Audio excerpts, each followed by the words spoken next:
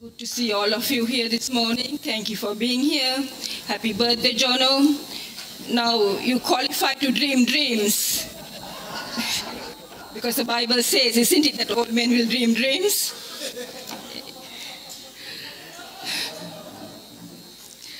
Okay, praise God. Can we turn to Deuteronomy chapter 6, verse 5? Deuteronomy chapter 6, verse 5, and in whichever version you may have of your Bible, can we read it together? 6 5. You shall love the Lord your God with all your heart, with, with all your soul, and with all your might. Amen. Now, this is a commandment from God, and this is also repeated in the New Testament, which we will look at later, in Mark chapter 12 and verse 30. And the title that I have given my message this morning is The One Thing That Is Needed. The One Thing That Is Needed. God wants to be the number one in our lives. He wants to be loved above all other loves. So, why does God want us to love Him in such a manner? You know, C.S. Lewis, before he became a Christian, he said this. He complained about God, saying, God's demand to be praised and loved sounded like a vain woman who wants compliments. And the great Oprah Winfrey said this. Apparently, she said that she walked out of Orthodox Christianity because to her, the biblical God who demands our affection in such a manner cannot be a good God or a loving God. And she claims to be a Christian still. You know, people, God is not on an ego trip. Neither does he need your love or my love.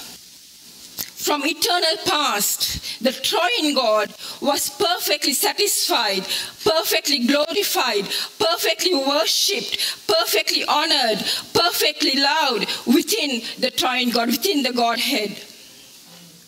He doesn't need you and me, or even the heavenly host to worship Him or to love Him.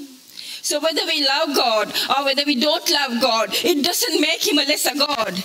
God is God. He's sovereign and he'll always be upon the throne, completely glorified, completely worshipped. But God loves us so much that he wants the best for us and he knows that this best is only found in a loving relationship with him. Outside that relationship, we will not find the goodness of God. You know, there's this story I'm sure you have heard it. Even if you have not heard it, please be kind and laugh at the end of it, okay? the Sunday school teacher teaching six year olds. She was teaching them about salvation.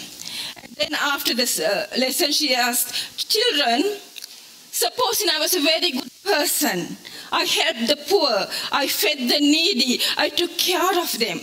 Would that take me to heaven? And everybody shook their heads with a big no, teacher. Then she said, What if I was uh, kind to animals? You know, I go around collecting all the stray animals. I bring them home. I give them shelter. I feed them. I rescue them. Would that take me to heaven? Again, a shaking of heads and a big no teacher. Then she said, What if I was obedient to my mom and dad? And even though my brothers and sisters are mean to me, I will still be kind to them. Would that take me to heaven? Again, a shaking of head and no teacher. So then the teacher asks, So how do I get to heaven? And one little boy stood up and said, Teacher, you got to die. Thank you. well, that is true, isn't it? We all got to die to go to heaven unless the Lord returns and we are raptured before that. You know, John 14, in John 14, Jesus said, In my Father's house are many rooms are many mansions. If it was not so, I wouldn't tell you. And I'm going there to prepare a place for you.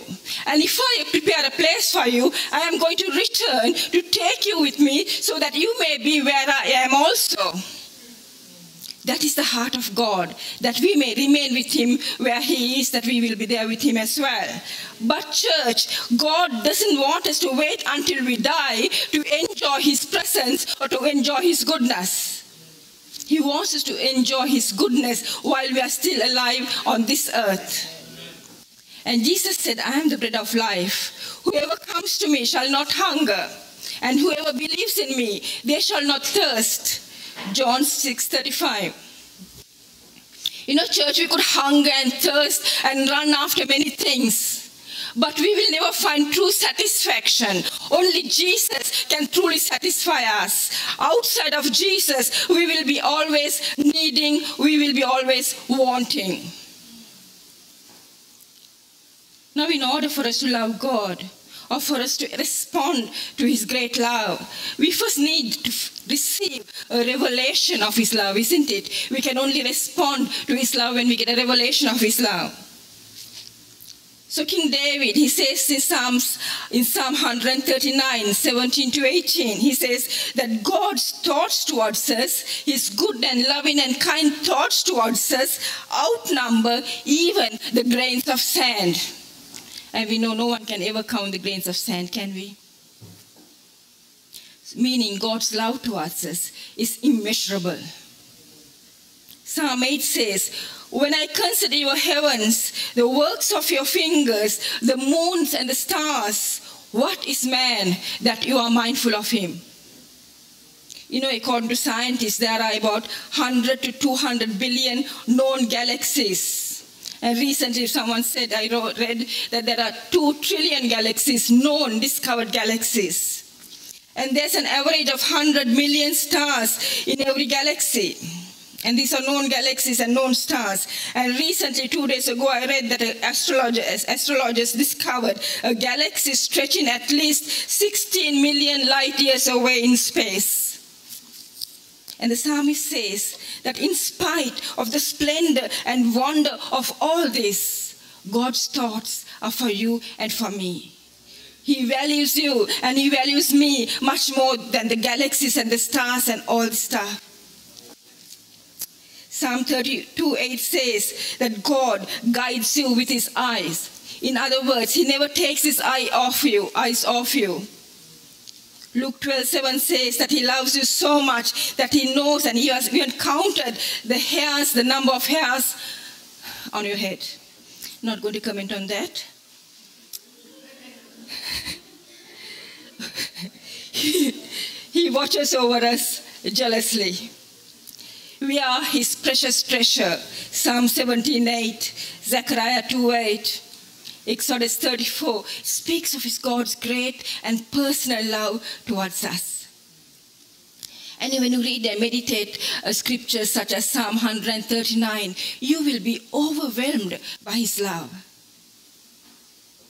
So let us consider a few people in the Bible who had this revelation of God's love, and, as a result, they sought God above all else.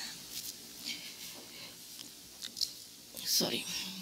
David in Psalm 27 4, he says, One thing have I asked of the Lord, that will I seek after, that I may dwell in the house of the Lord all the days of my life, to gaze upon the beauty of his holiness upon his face, and to inquire in the temple. In other words, to seek his presence. To dwell is to sit down, to remain in his presence. And to inquire means to seek his ways and seek his guidance, to seek what pleases him most. So here we see David's number one desire was God's presence. Psalm 42.1 we read, As the deer pants for the streams of water, so my soul pants for you, O Lord. My soul thirsts for God, the living God. You know, the psalmist, we are told that he was in exile when he wrote this psalm. And probably when he was in Jerusalem, he was a worship leader. And now he cannot visit the temple because he's in captivity. And this psalm tells us of his yearning. He's expressing his intense longing to be in the presence of God and to worship him. And in the New Testament, Luke chapter 10, verse 42, we all know the story of Mary and Martha. While Martha was involved doing good things, she was involved in ministry and in service, but Mary, she was seeking the presence of Jesus at the feet of Jesus. And Jesus responds to Martha and says, There is only one thing that is necessary. and Mary has chosen the good portion which will never be taken away for her, from her. And this word good, the word is agathon in Greek or agathos. And that means the goodness that originates from God.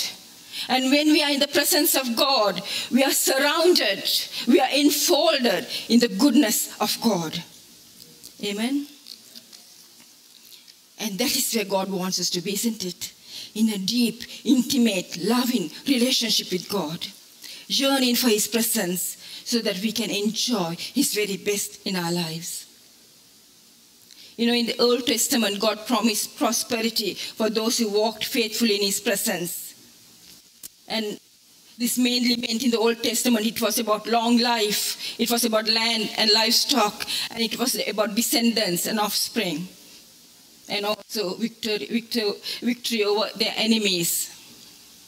Even today, God wants us to enjoy His blessings. He wants to prosper us. And today, the word prosperity has become like a bad word. You know, we are so hesitant to use the word prosperity in the church because of false teachers for the false communication of this word. But the fact is, God wants to prosper us. Prosperity comes from God. By this I mean a life blessed with His peace and joy, no matter what circumstances we may find ourselves in strength to face challenges in life and live victoriously and as overcomers, to excel in everything that we do and everything that we undertake in, to have faith that moves, moves mountains and parts the Red Seas in our lives, to have godly families and to raise godly children. The list goes on. And of course, for pastors, it's you know, a luxury lifestyle, exotic holidays, mansions, posh cars. Did I hear someone say amen? Strike that out, okay? Church, God wants to bless us with His very best. To live a grace filled, grace overflowing life. That's His desire for us. You know, the Old Testament and the New Testament are filled with many accounts of the blessings that came to those who sought and lived within God's presence. Let me remind you of some. You know, God's presence was evident in Abraham's life, wasn't it? He was blessed with prosperity in every area. He had land, he had livestock, he lived long, he had descendants, he had great wisdom, he had great leadership. Why? because he always sought the presence of God. God, God's presence was so evident in his life that even the heathen around him recognized the difference between their lives and Abraham's. And King Abimelech appeared and he said this. He spoke to Abraham, saying, God is with you in all that you do. Genesis 21 22. This heathen king was saying, Abraham, there's something different about you. God guides you and blesses you wherever you go. Church, if we are those who seek God's presence, even the unbelievers will see that something special is in you and they will draw to you. I know, I'm sure you have experienced this. We have even unbelievers when they are going through difficulties or problems, they come to you for advice, they come to you for prayer. They may not come and say, I see God in you. But if you're a person who lives within the presence of God, they will see what Abimelech saw in Abraham. Amen. You know, God promised Joshua in Joshua 1 5 to 6 that no enemy could stand against him. He said, No man shall be able to stand before you all the days of your life. I will not leave you, nor will I forsake you. Be strong and be courageous. Why? because of God's presence. When God's Spirit is present within us, we can stand strong, we can stay courageous, and we can be confident that no enemy can ever defeat us. Amen. God told Gideon, and listen carefully, he said, The Lord is with you, you mighty man of valor. God, go in this might of yours, and you shall save Israel. Judges 6 12 14. Notice something. God did not say, Go in my might. Rather, He said, Go in this might of yours, and you shall save Israel. God was saying, Gideon, there's something might, something mighty in you, something that is so powerful that it can save Israel. And that might is my presence with you. Because you sought my presence. He was saying, Your weakness will be made perfect in my strength. Even though Gideon lacked courage, God wanted to prove that any person can do great things when God's presence is with them. You know, we know how Gideon was threshing wheat in the, uh, at the bottom of a wine press to hide the grain from the Midianites, the enemy. And some people think of Gideon as a coward, but God did not see him that way.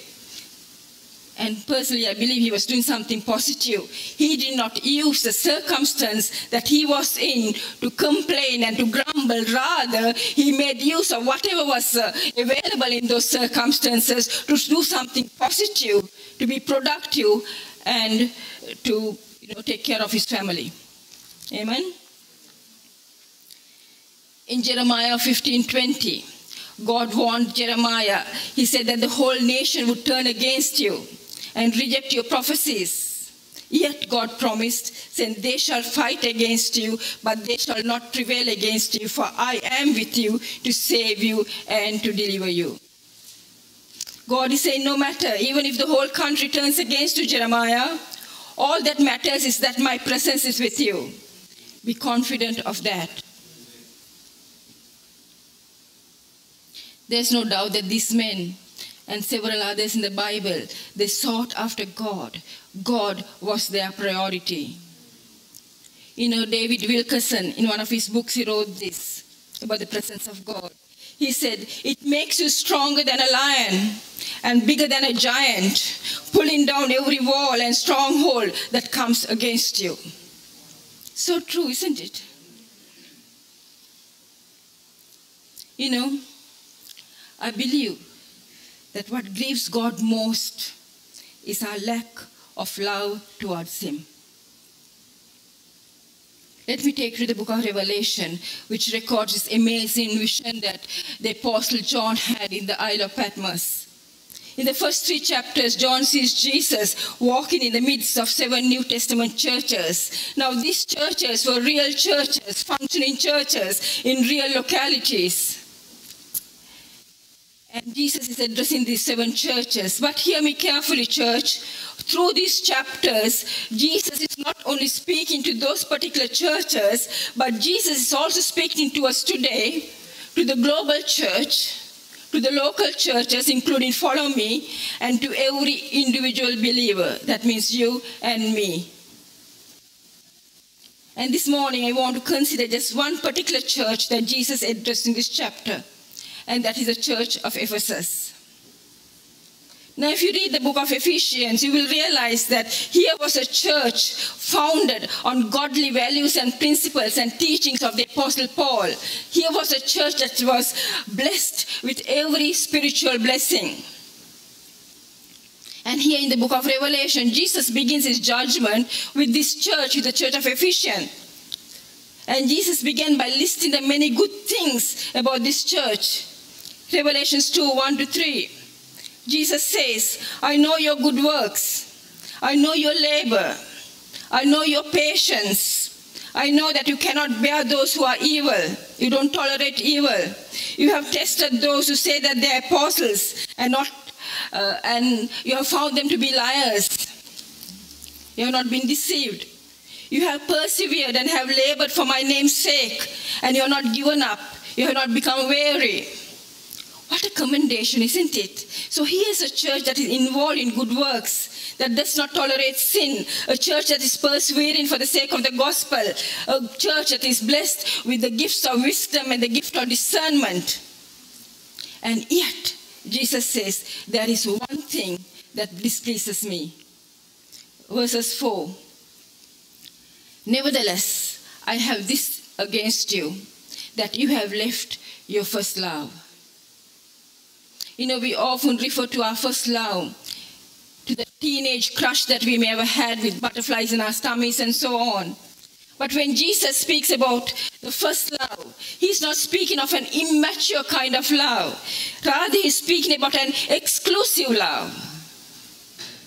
He's saying, I once occupied first place in your heart, but now you have allowed other things to take that place. In other, way, in other words, they have lost their fire, they have lost their passion. They are no longer devoted to Jesus. He is not the one thing that they desire above all. Church, it is significant that in these chapters, of all the sins Jesus points out in these churches, in the seven churches, actually in the five churches, he points out sins such as adultery, covetousness, lukewarmness, false teachings, the Jezebelic spirit, uh, spiritual blindness, and so on. But probably it was the Ephesian church who hurt him the most because that's the first sin that he addresses. You are left your first love. Revelations 2, verse 5. Jesus continues Remember, therefore, from where you have fallen, repent and do the first works, or else I will come to you quickly and remove your lampstands from its place, unless you repent. The first works that God that Jesus is referring to here are the works resulting out of the love they had for God. You know, we can be involved in doing loads of good stuff, lots of good work, good works. But if these good works are not motivated by our love for Jesus, and in the process of doing these good works, if our love for Jesus does not increase, then we are left our first love and those will just remain good works. Jesus calls the church to repent. That means turn back to your first love and give God, give Jesus the rightful place in your life. Or else he will remove the lampstand. What does that mean? You no longer will be effective. You may lose your anointing. I believe this warning to the Ephesian church is intended for the global church, local church, and for each of us personally. Also remember this, our lack of love for Jesus can affect the entire congregation. You know, the church in Ephesians that Jesus was addressing, probably not everybody in the church had lost their first love. But Jesus was addressing the entire church, isn't it? Church, is Jesus your greatest desire? Are you seeking Him more than any other? Do you love Him the most? Listen to me carefully, and please don't hear me wrong, okay? The only way that you can love God is not by trying hard not to sin or trying hard to walk the straight and narrow. The only way that you can truly love God is to seek His presence, to rest in His love, to long for Him above all others, other things. Because when you are in His presence, even, even if you fail and fall, you will not want to remain there because when you are in the presence of God, you will always want to obey Him and please Him. And you will call out to God and He will restore you. Amen. Amen. Remember David? He lost it, didn't he? When he removed his focus from God and feasted his eyes on Bathsheba. Solomon lost it when he started focusing on the pleasures of the world. Peter lost it when he focused on fear. And there are so many other accounts in the Bible. But thankfully, they turned back to their first love and they were restored and reinstated in God. But there are others, like Judas, like Ananias and Sapphira, who removed their focus from God and focused on money and power and probably popularity. And they did not return to their first love. And even today, we know great preachers and teachers, Christian preachers and teachers who began so powerfully moving under the point, anointing of the Holy Spirit, but lost it when they focused on money, on power, and on popularity. They walked away from their first love. You know, we need to be on our guard. 1 Corinthians 10 12 tells, warns us. It says, Therefore, let him who thinks he stands take heed lest he falls. We need to be with God, we need his grace.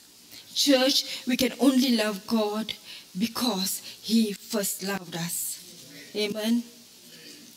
Even when we rejected him in the past, he never gave up on us, did he?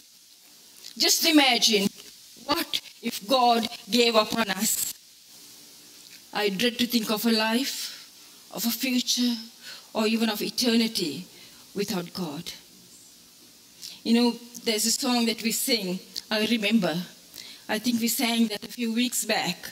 And as we were singing that song, I began to remember how God never gave up on me. You know, as a young adult, I had turned away from Him. I had compromised my values and principles in which I was brought up.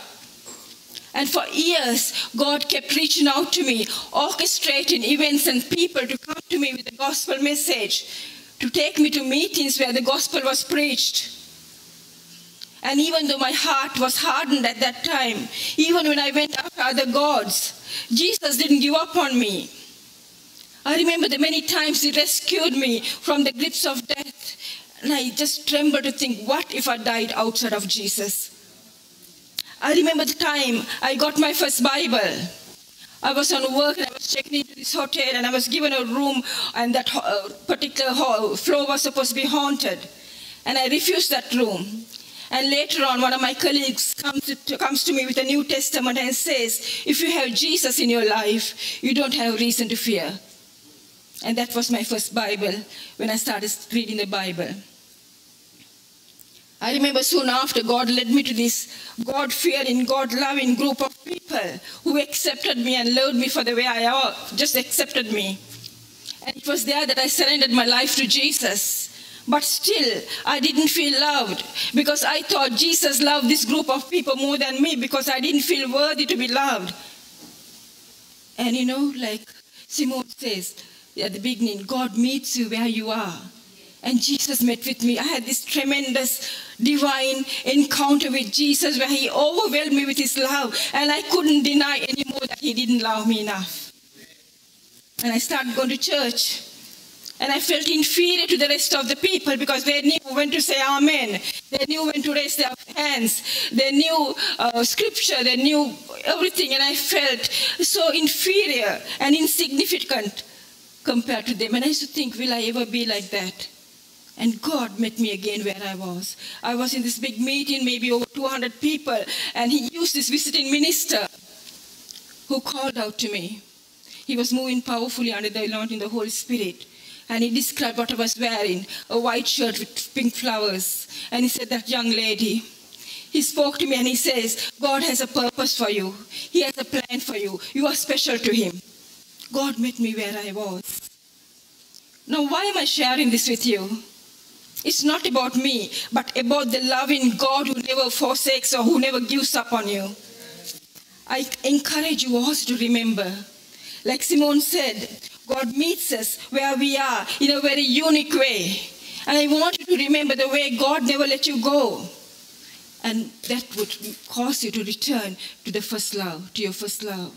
Amen.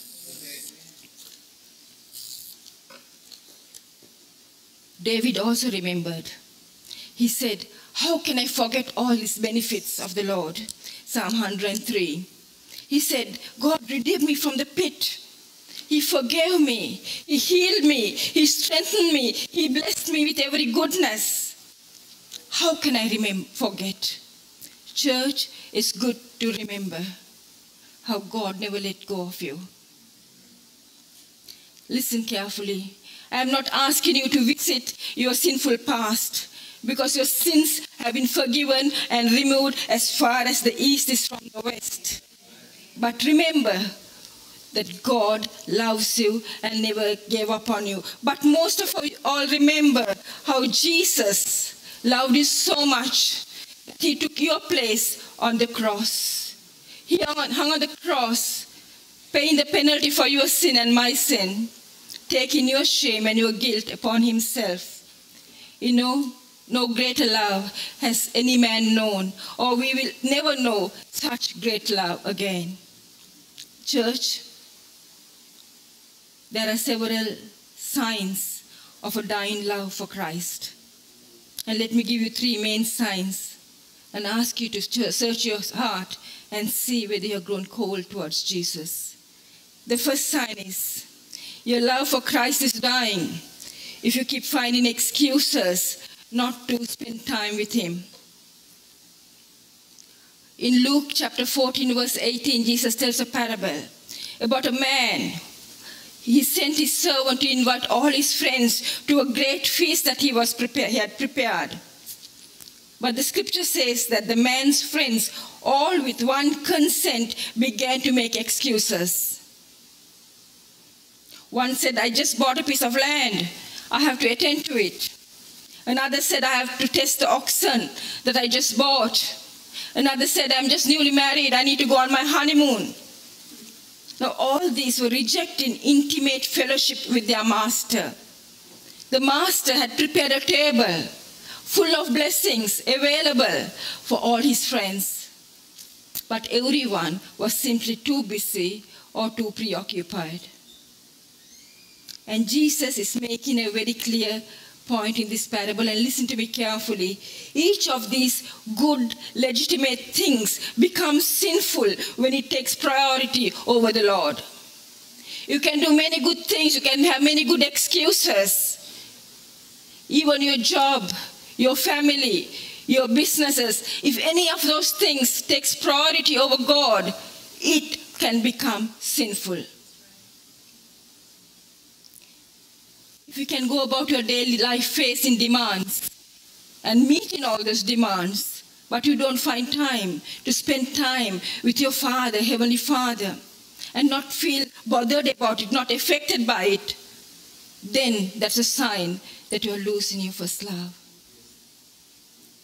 The second one, your love for Christ is getting lukewarm if you neglect fellowship.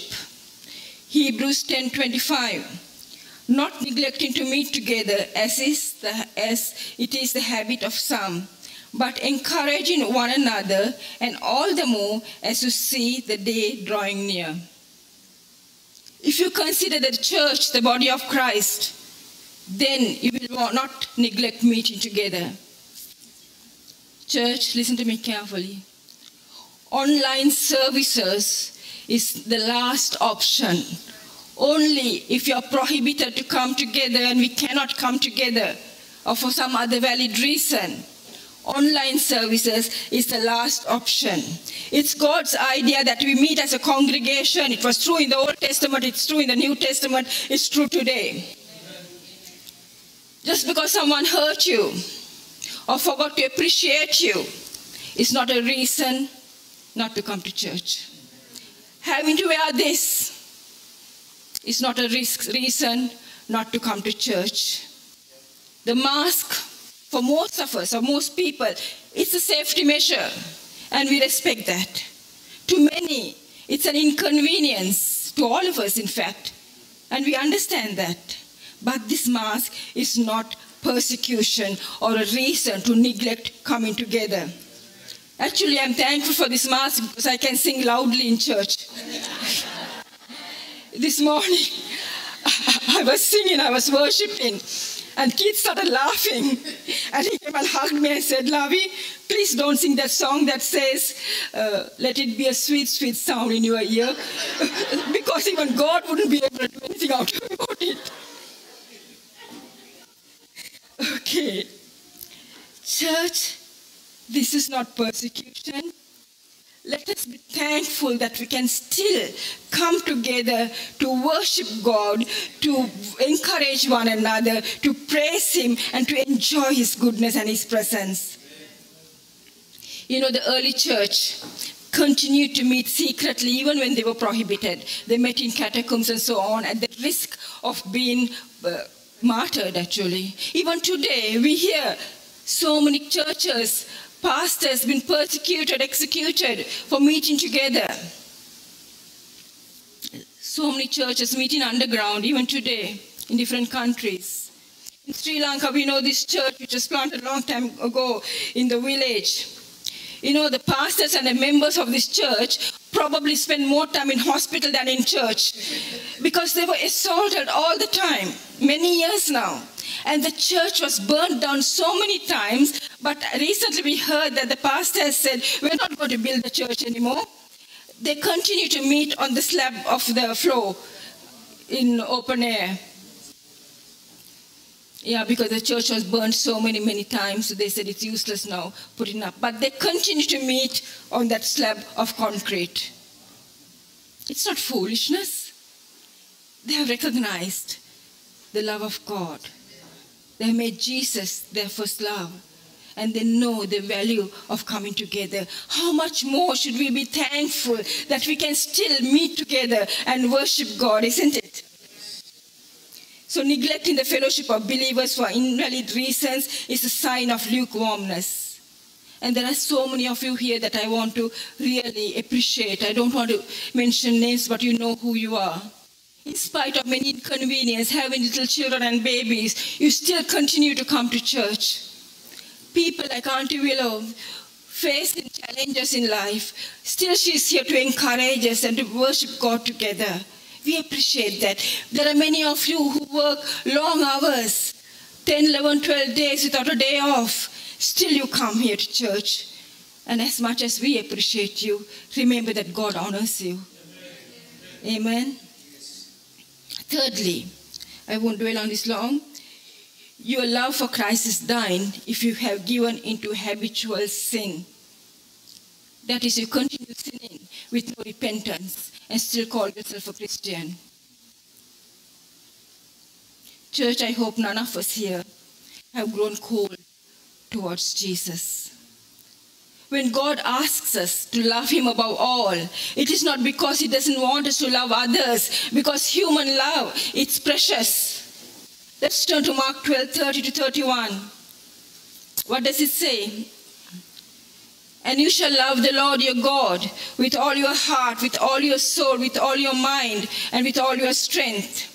This is the first commandment. And the second, like it, is this you shall love your neighbor as yourself. What this means is this unless you love God first, you will not be able to love others in a meaningful way. It is only when you love God first and when you are in His love that you can love others in a Christ like love, with a Christ like love. Love between husbands and wives, parents and children, our one anothering in church, our service to the world out there. All these relationships will be meaningful and God honoring if we are first in the love of God, if we have Jesus as our first love. That's why God wants us to put Him first. Is your love for Jesus exclusive? Ask the Holy Spirit to help you to return to your first love. Ask the Holy Spirit to help you to guard your affection for Jesus. John Piper famously said, God is most glorified in us when we are most satisfied in Him. We were created to glorify for God's glory. And when we live for his glory, meaning when we seek him first above all, then he is glorified. And in that we find true satisfaction and purpose for life. Amen. Church, I will close soon. But if there's anybody here who has not yet made Jesus your first love, in other words, you have not surrendered your life to Jesus, today is the day, not tomorrow coming to church or attending Bible studies does not make you a Christian. Earlier shared in John 14 where Jesus said he's going to his Father to prepare a place for us and that he's going to come back for us. And Thomas, he asked, Jesus, you're going, but we don't know how to get there. And Jesus answered saying, I am the way, the truth, and the life. No one gets the Father except through me.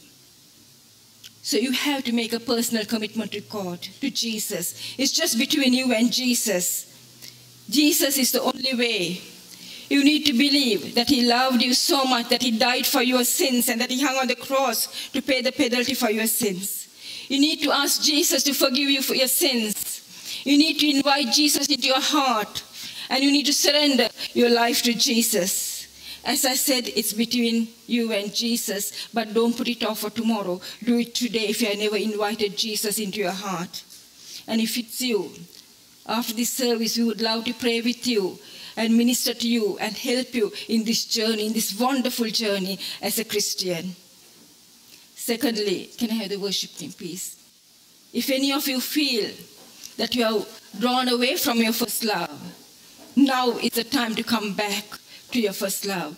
Jesus is waiting with his arms open wide to receive you into his presence. And again, the pastoral team is here to pray with you, to minister to you after the service. Can I now ask you to please stand up and let's worship together to God, worship God together and let this song be very meaningful and pray it or sing it from the bottom of your heart.